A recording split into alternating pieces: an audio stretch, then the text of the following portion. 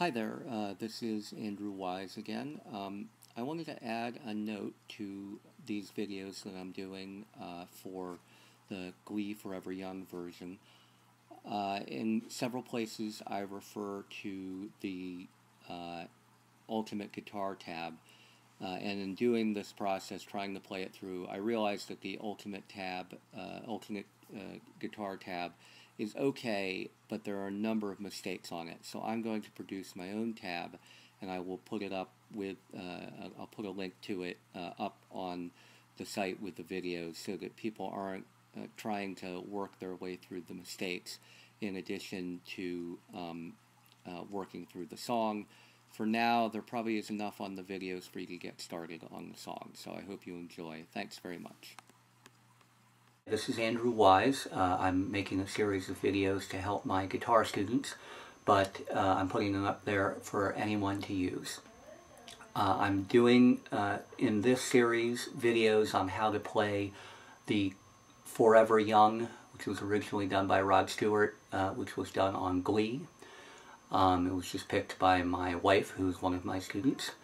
Uh, and I'm splitting the videos up into several. Uh, I already have up uh, a video on the basics of uh, how you start playing guitar, how you hold your pick, how you practice, uh, uh, how you strum. Uh, this video is going to be about the how you hold the chords, how you switch between them, the strumming pattern in this that we're using in this particular song, and then I'm going to have a couple pure play-along videos because I think that's the easiest and best way to practice. And I think it's easiest if all you have is the play-along and you can uh, uh, play it uh, without interruption of the basics, which we're going to cover right now. So, and then I'm going to have a uh, harder uh, play-along video that's more like the version uh, that was on Glee and the version that Rod Stewart does. Um, so uh, there are only four chords in this song, and for anybody who uh, wants to um, uh, wants to get a transcription, I got this from the Ultimate Guitar uh, tabs archive, ultimate-guitar.com, uh, and uh, it's a good version, and that's what I'm using. the capo is on the third fret. Um, and the four chords are A suspended second, D suspended second, B minor suspended fourth, and F sharp minor seventh suspended fourth.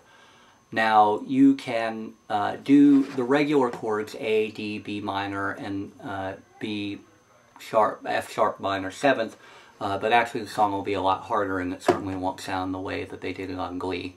Uh, so this is actually the easy version, and you barely have to move your fingers, which is great.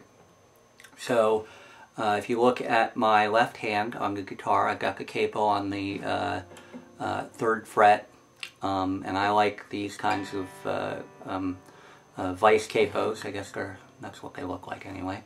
And you would do, do an A chord with your three fingers on the uh, D, G, and B string.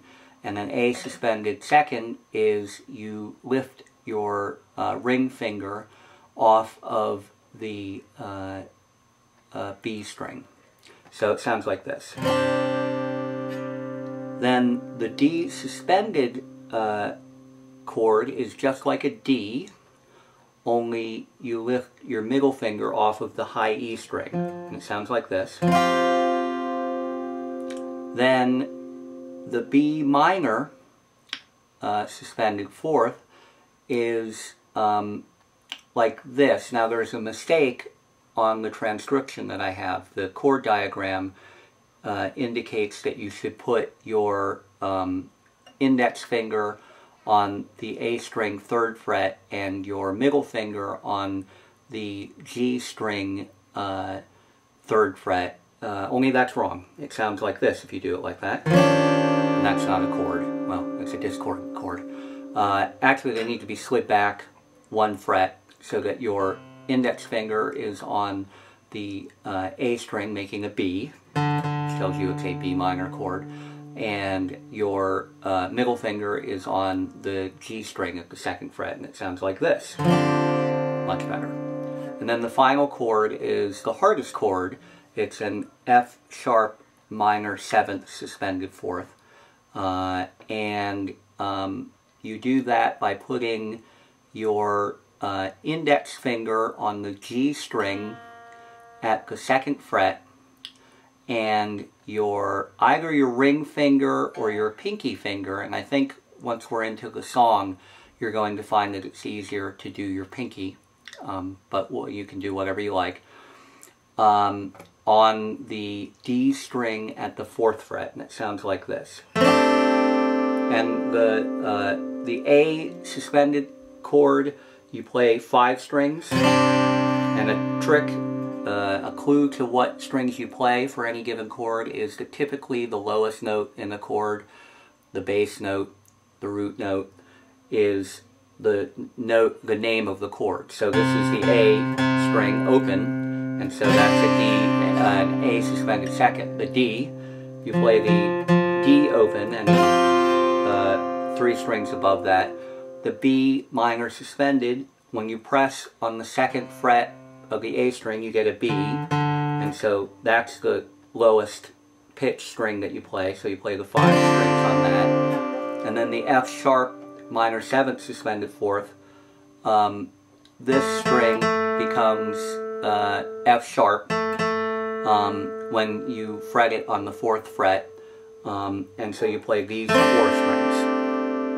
Alright, so now the switching. Uh, if you use these two fingers, the, um, and I realize I might be doing a rude gesture to some cultures, I apologize. The uh, index finger is uh, on the D string, and the middle finger is on the G string. Um, and you get that sound. So then, uh, the most common switch is between this and the D suspended fourth.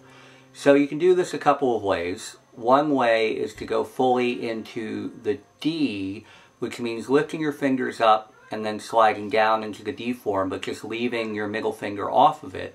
However, it's actually easier if you leave your middle finger in place and put your ring finger down on the third fret of the B string. Uh, and if you do this form throughout the song, you never have to lift up your middle finger.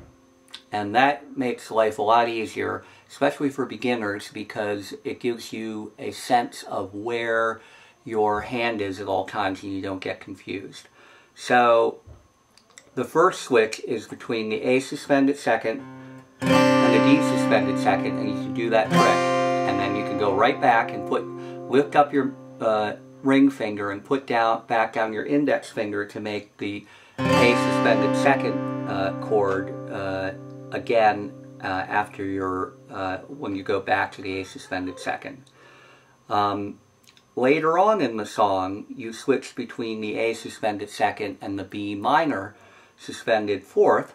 And uh, the easiest way to do that, if you're holding the A like this, is to merely lift up your index finger and move it up from the D string to the second fret of the fifth string, the A string, and making a B minor chord. And then uh, after that, you go into the D.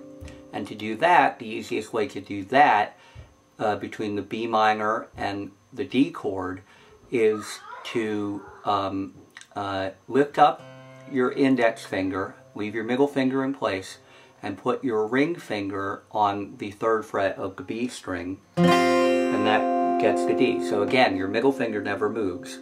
And then after, immediately after that, you switch into the uh, F sharp minor seventh chord.